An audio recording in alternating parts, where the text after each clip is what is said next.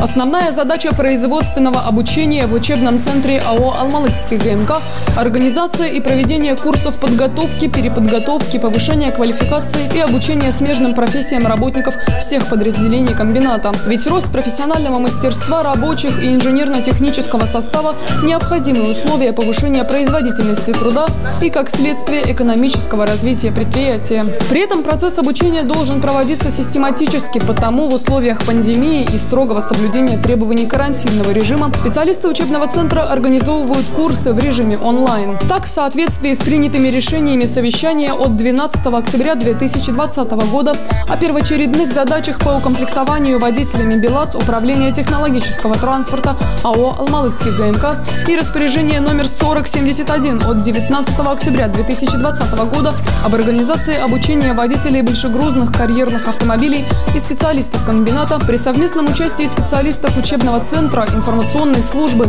и управления технологического транспорта организована подготовка видеоуроков для курсов дистанционного обучения водителей.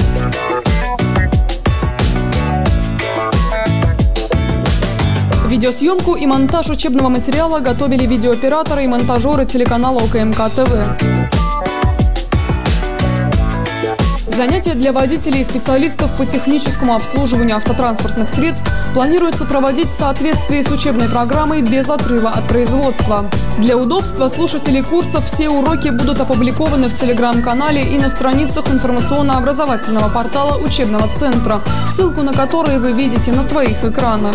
Дальше мы с вами переходим на участок, где э, находятся трансмиссии этой автомашины. Таким образом, дистанционно пройдут обучение, повысив квалификацию 73 водителя большегрузных автотранспортных средств БелАЗ 75307.